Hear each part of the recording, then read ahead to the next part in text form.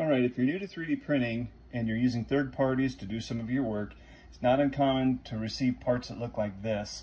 And there's a couple ways to solve this. One, just make your parts thicker and not as thin as this, and that helps a great deal. But if you do end up with parts that are warped like this, and you want to salvage them, here is a way to do it. Now I've got this in just an ordinary cake pan. You can see that this roll tart frame is pretty warped. And I've got my tea kettle here. And I just warmed this water up. As you can see the steam coming off of it. Now we're just gonna let those parts sit in that hot water for a second. And some parts, depending on what you're using, may take more time than others. But look how soft that is. So, we soften that resin up, and now if you just let it sit on a flat surface, it should hold its shape. That one needs a little more time. We'll just get a little more time on that one. And then we'll grab our fork here. Now watch this. I can hold that. See how pliable that is? We'll just put that back in the water because I bent it. There, softened it up again. I'll just let that sit on my stove top where it's nice and flat.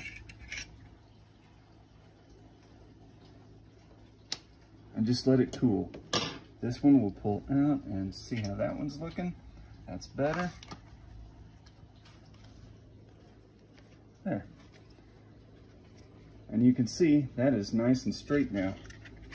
We'll put this back in the water and we'll do the other side.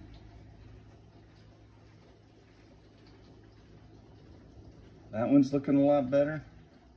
We'll do the driver's side, passenger side. We'll let that chill for a few minutes and then, or a few seconds anyway, get it warmed up and soft.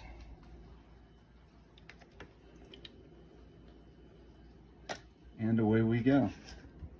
We'll just let that sit right there on the countertop. Once it's cool, like I said, it'll hold its shape.